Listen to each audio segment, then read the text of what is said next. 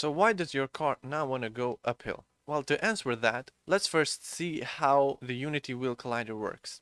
So I've created a brand new scene as we can see in here and in here we'll create some simple geometry. So let's create a simple terrain like the one that we have in here and let's create some hills.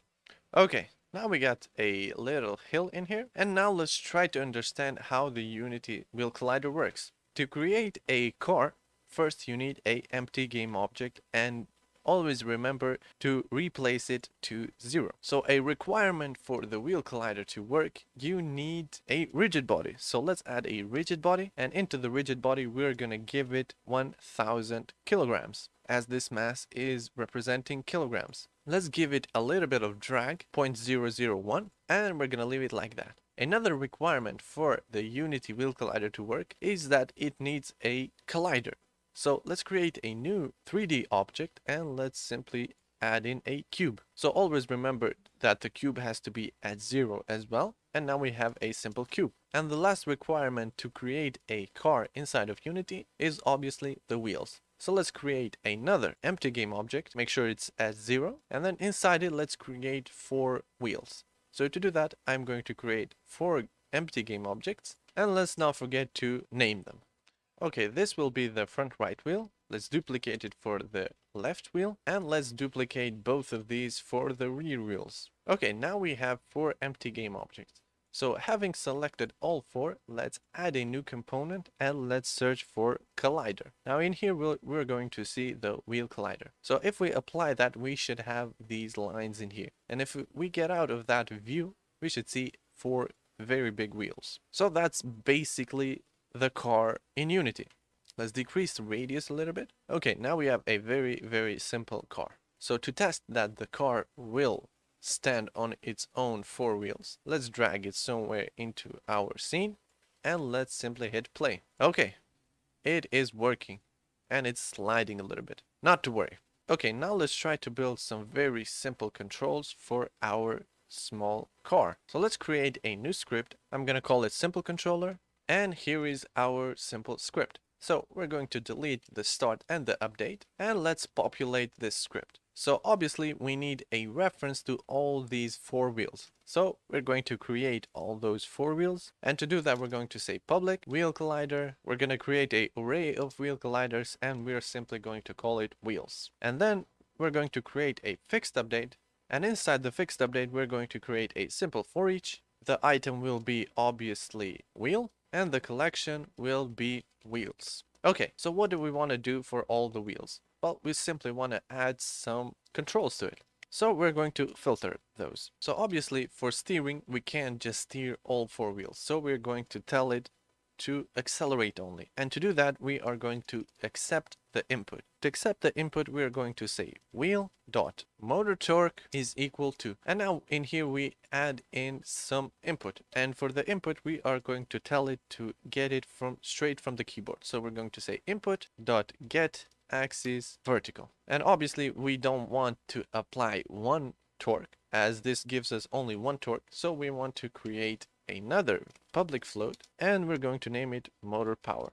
We're going to default it to 100 and we are going to apply motor torque in here. So now we have only the torque in our four wheels. Now let's create another for and this time is going to be a simple for loop that will go into the wheels dot length and in here we are going to ask it if the i is smaller than 2 and if it is we want to apply steering wheels in the index of i dot steer angle is equal to and in here we want another axis. So we're going to copy that in here and paste it and we're going to say in here horizontal. And of course we want to vary the input from the horizontal. Let's create another float and let's call it steer power. Let's pass the steer power down here as well. And now we have a function for applying the motor torque and applying the steering. Let's save the script and let's go back into our scene. Okay now we have the wheels.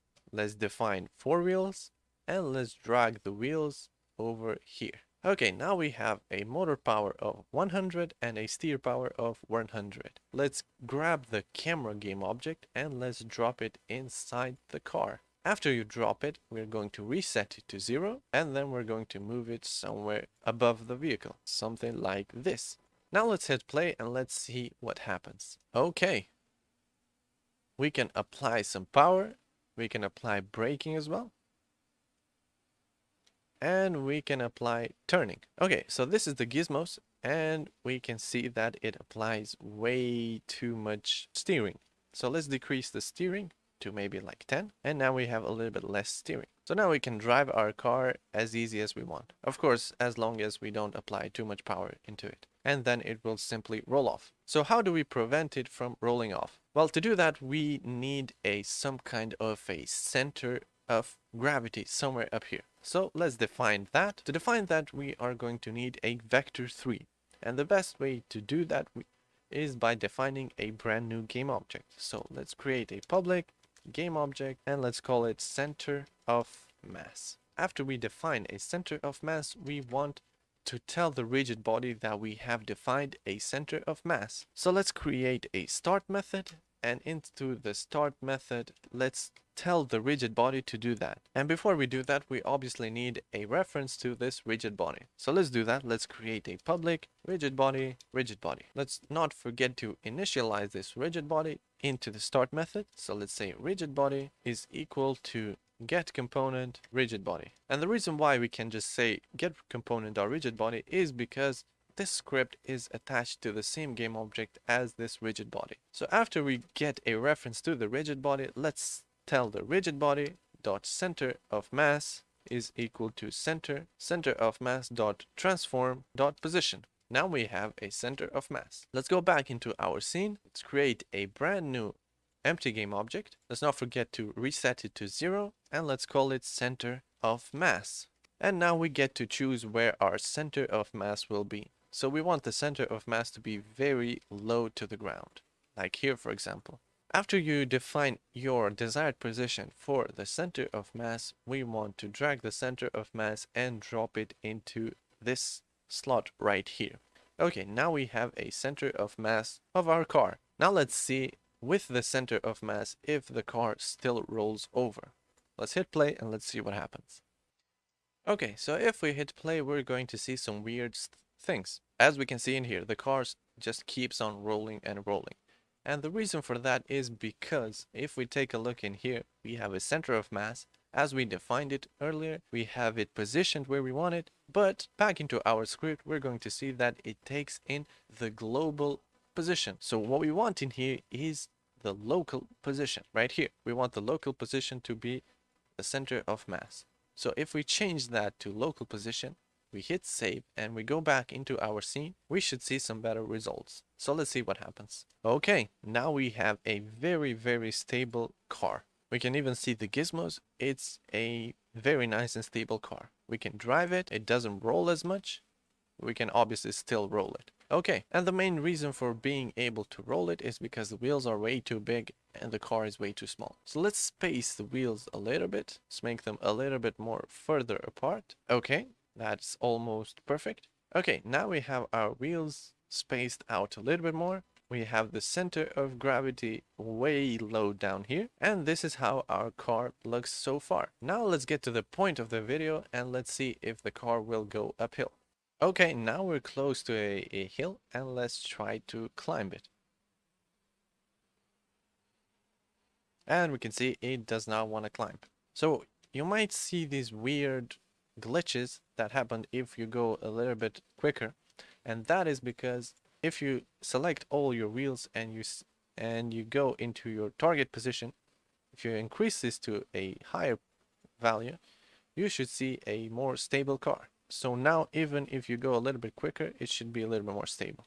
So why can't you climb the hill whenever you want to it's got plenty of power and it still doesn't work well, appropriate thing to do is to increase this power. So we're going to give it 500 torques, motor torques. And the 500 motor torques is applied into each wheel. So this is not the right power to be applied into this to into each wheel. So now it has way too much power into each wheel.